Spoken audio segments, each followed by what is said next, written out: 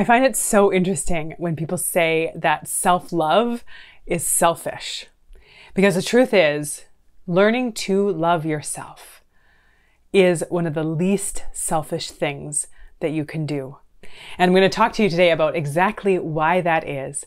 And then I'm going to teach you five simple ways that you can start working on your relationship with yourself and building that self love today. If you're new here, welcome to our incredible little corner on the internet. Take a second and introduce yourself in the comment section below if you're back again. It's always good to have you here. If you haven't already, subscribe to the channel. The buttons are out right down there. Either way, my name is Julia Kristina, and I am a registered clinical therapist, a researcher, a coach, and the creator of my incredible membership community, the Shift Society, where many of you who are here now are in the Shift Society and taking this work to a deeper level and being supported the whole way through. You can get more information about the Shift Society in the description below. I help heart centered humans break through the crap that is holding them back so that they can like themselves and their lives more every day. And if you are confused when I said that loving yourself is the least selfish thing you can do, then let me ask you this. When you don't feel good about yourself, when you don't love yourself, who are you always thinking about? What did they mean by that? What does that say about me? Why am I not good enough? What's wrong with me? We are always focused on ourselves when we are feeling insecure about who we are. Because our sense of self is so determined by everyone and everything that is happening around us, we are so scared of something going wrong and then us feeling terrible or it confirming a belief that we all, that we already have that we're always kind of assessing and evaluating and judging ourselves based on again things that are happening around us. And so we become so hyper focused on ourselves. Whereas when you love yourself, when you feel secure in who you are, you just don't really think about yourself. Think about relationships that you have in your life, the relationships with other people where you feel that is solid and secure, and you're like, this is a good relationship. You're not worried about it. You're not thinking about it. You're just kind of existing within it and living your life you know, and doing your thing and you feel safe and secure in this relationship. You're not obsessing about it.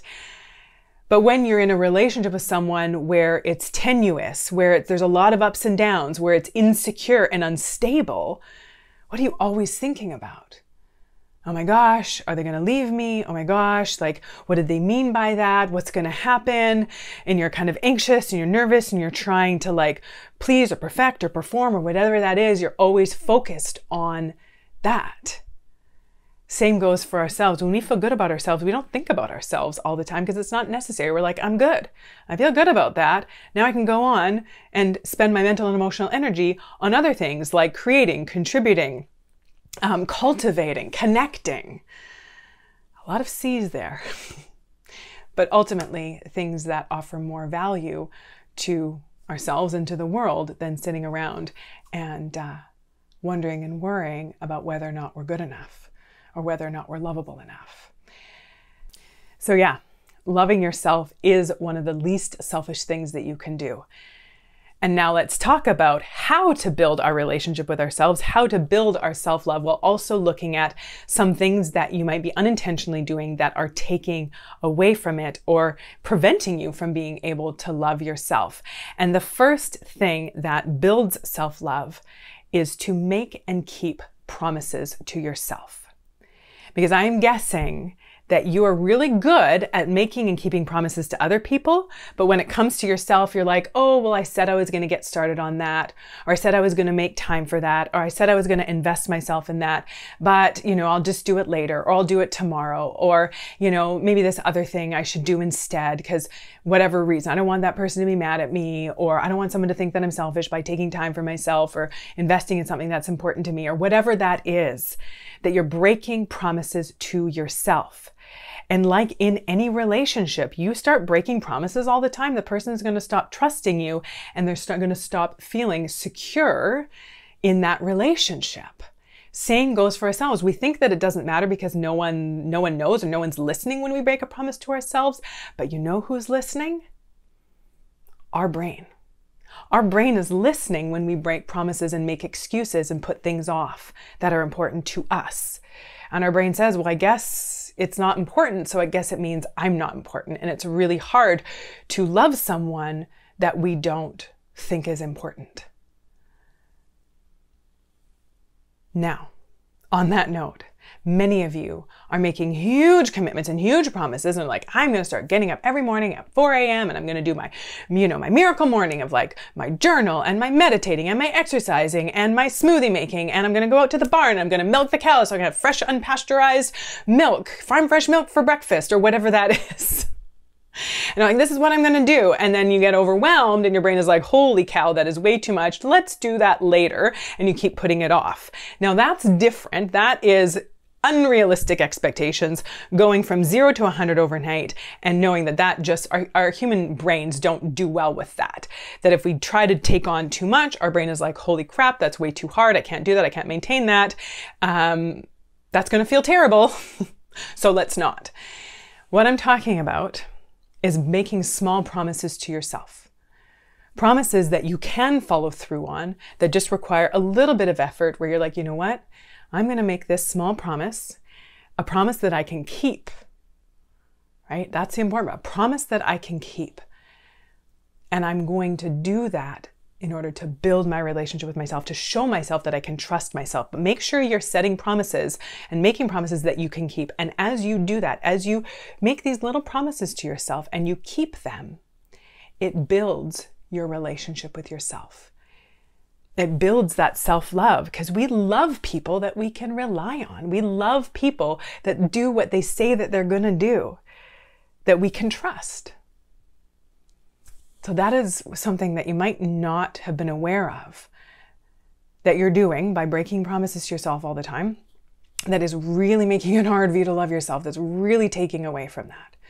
So the opposite is to make the small promises and keep them and do that often. Not so that it's overwhelming, but that so you can get yourself into kind of a groove of fulfilling the promises that you make to yourself. The next thing that builds self love is listening to yourself and your needs and respecting that.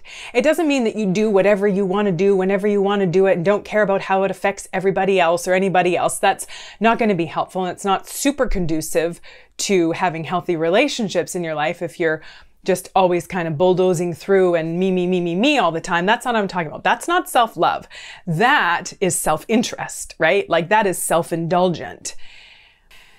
But what I'm talking about here is those times when you're like, you know what? I really need to take this time for myself. I really need to take a step back. I really need to kind of lower these expectations. I really need to take care of myself in this way. I really need to say no to this because I see that I am getting overly stressed, that I'm getting burnt out, that I'm not feeling good, that I'm getting more irritable and more snappy, and that I'm just feeling just bad and then being like, oh, well, I'll do it anyways. Oh, well, I don't want to disappoint anyone. Oh, well, I got to follow through. Oh, well, I got to make this happen. Oh, well, you know, everyone else needs me. Instead of being like, you know what? Sometimes I need me. Sometimes I need me to look out for me. Sometimes I need me to take care of me. Yes, there are other people in my life and in relationships that I'm invest, invested in and involved in. I'm going to contribute to those. I'm going to give to those. I'm going to be present in those. But I also need to be giving to myself because I matter in this equation as well. It's not all about me, but it's not never about me. So listening to what you need for your mental health, for your physical health, for your well being, what's important to you, and are you paying attention to that? Which sometimes means that we means that we need to say no. And we need to learn how to get better at saying no. For some of you, it's a struggle to say no because you're like, ah, I don't want to be rude or I don't know how to say it in a way that's going to be received well. Um, so I have a list for you of 25 ways to say no. It's free and they are kind ways to say no, but also clear. For those of you who really do struggle with that, you can get that free download. The link is in the description. Part of taking care of yourself means that you need to learn how to be okay with saying no when you need to. and listening to when you need to by listening to what you need. The next thing that builds self love is to be mindful about how you talk to and about yourself. You don't realize how often you're making little comments or even overt statements that are self rejecting, self defeating, self critical. Ugh, you're such an idiot. Ugh, what's wrong with you? Oh my gosh, you're so pathetic. Ugh, why can't you get anything right? Ugh, why can't you do this? Why are you never good enough? Whatever that is, how often are you assaulting yourself with your own words? If someone was to say those things to you, it would be like that's an that's a that's an emotionally abusive relationship. But yet we say those things to ourselves. Ugh, why are you so gross? Right?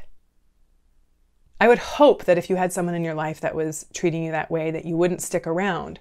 But we treat ourselves in those ways. And then we wonder why we don't feel good enough. We wonder why we don't love ourselves. We don't wonder why we don't feel good about ourselves. So being mindful how you talk to and about yourself matters. Now it's not about going around and being like, I'm God's gift to humanity and like I'm amazing, I'm the best thing in this world. That's not it. But it's really about cutting yourself some slack and being like, you know what? I messed that up, but I'm going to try again. This is not a reflection of my self worth. This was perhaps not a great decision, or I didn't go about this in the best way, or I did the best I could and it didn't go the way that I wanted. Whatever. I'm going to try again, or I'm going to figure this out but I'm not going to beat myself up and I'm not going to be terrible to myself. Or even if you like snap at someone or get angry at your partner or yell at your kids, you're not going to be like, oh, I'm a horrible human being. You're going to be like, wow, not my finest moment.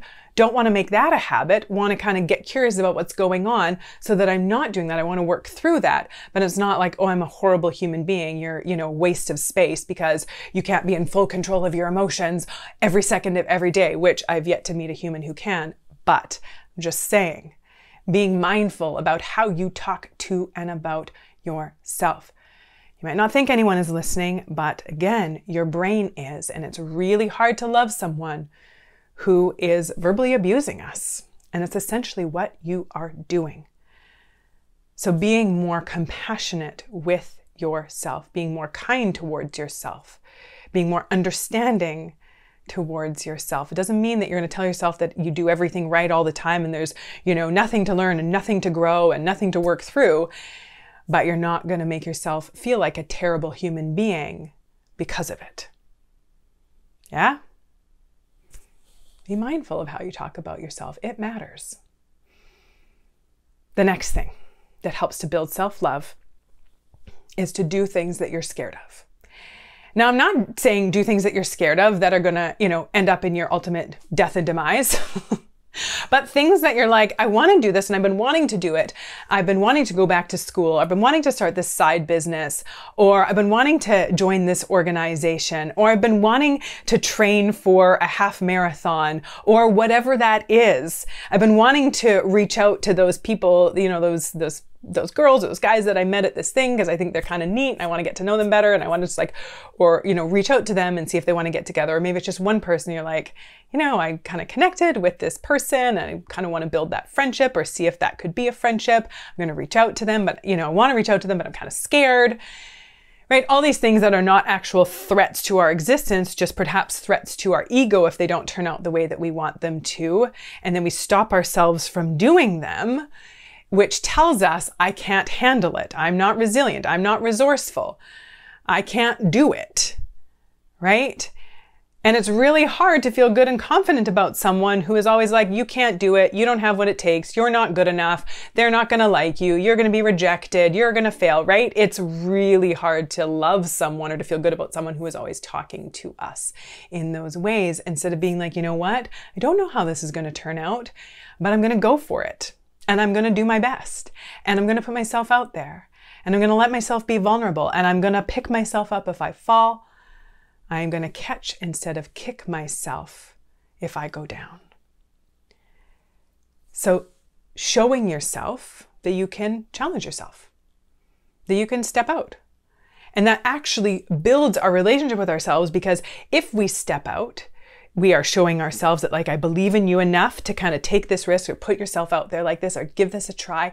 And then if it doesn't go exactly how we were expecting or it's more challenging or you know more difficult than we were hoping for but we continue to persist and to keep going and to get back up if we fall again that builds our relationship with ourselves because we're like i believe in you and you can do this and you're not going to let this you know, you're not going to let this roadblock stop you or completely throw you off. You are going to keep going, which then when we are encouraging ourselves, encouraging ourselves and continuing to get back up, to continue to challenge ourselves and kind of push it.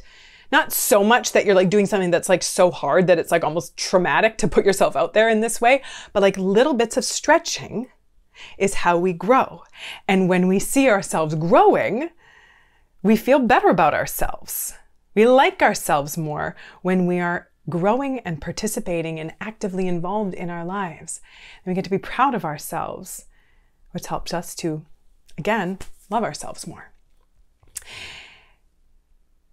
The next thing that will help you to start loving yourself today is to take responsibility for yourself, for your life, and for your choices this can be a tough one. Now, I'm not saying taking responsibility for things that you've been through or how other people have treated you.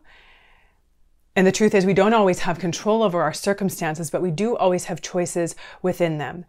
And if we are, you know, saying like, it's too hard, I can't do it, the whole world is against me, there's no point, right? Or whatever that is, if we're just like kind of getting in that mindset, you can if you want to. It doesn't mean that you're a bad person if you think that way.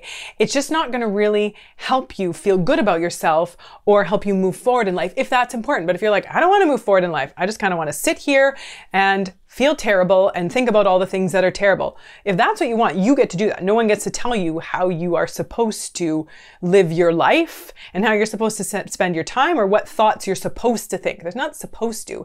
It's just what outcome do you want and what does it take to get that outcome? And so taking responsibility for yourself and your life and for your choices and not blaming everyone else right? And not giving the responsibility for your life to other people is going to help you build your relationship with, our, with yourself. So what is it that you want in your life? How do you want your life to be with, with, when it comes to within the things that are within your control that you have say over? Are you getting in the driver's seat of your life? Are you making things happen that you want to have happen? Are you letting yourself step up and step into your life in the ways that are important to you? Or are you making excuses? Are you holding yourself back? Are you, you know, staying hidden? Or are you taking responsibility for what you want in your life and doing what you need to do to make that happen?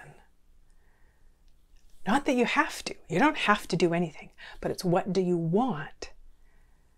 And what are you willing to do to create that? Nobody else is going to ever be as invested in your life and your well being than you are. Because nobody else is going to be as impacted by your life and your well being as you are. And they're not supposed to be. Knowing that what you want is always going to be most important to you. So therefore, it's up to you to create that, to build that, to grow that, to work towards that, to have that. And taking responsibility for that, for your life in the short time that we're here. Building our relationship with ourselves, building our self love is rooted in self trust. Like any solid relationship, we have to trust in order to build that safety, in order to let ourselves be open to love. And so, same within ourselves, the foundation of self love is self trust. And I have a guide on the simple steps to self trust that's going to walk you through how to build that foundation of self trust that's going to make it so much easier for you to love yourself and to show up fully as yourself, feeling good about yourself, So you don't have to be always focused on yourself. you can get that simple steps to self trust. That is in the description. And then also that free guide of 25 ways to say no. If that's something you struggle with, grab that. That is in the description below. Would love to hear your biggest takeaways. Let me know in the comment section below. It is always good to have you here. And until next time, take good care.